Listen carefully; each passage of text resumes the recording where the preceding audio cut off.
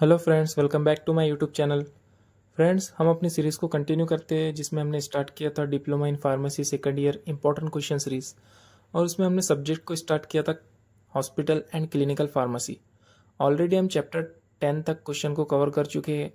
आज के इस वीडियो में हम chapter eleven, that is pharmacovigilance के क्वेश्चन को समझेंगे। इसमें काफ़ी क्वेश्चन नहीं निकाले हैं मैंने, सिर्फ़ दो या तीन क्वेश्चन इसमें बनते हैं, जो कि बहुत इंपॉर्टेंट है।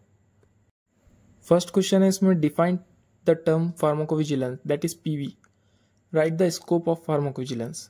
सबसे पहले आपको फार्माकोविजिलेंस को सिंपली डिफाइन करना है कि उसका एक्चुअल मीनिंग क्या है और उसके स्कोप को आपको इसमें मेंशन करना है स्कोप में आप लिख सकते हैं patient monitoring immunisation which is also known as vaccination herbal medicine disease control public health programme ये सब आपके स्कोप आपको इसमें मेंशन करना है देन क्वेश्चन टू है right the overview of pharmacovigilance again ये क्वेश्चन सिंपल है, इसमें आपको फार्माकोविजिलेंस एक्चुअल क्या है, उसके बारे में लिखना है और उसका जनरल ओवरव्यू आपको इसमें मेंशन करना है।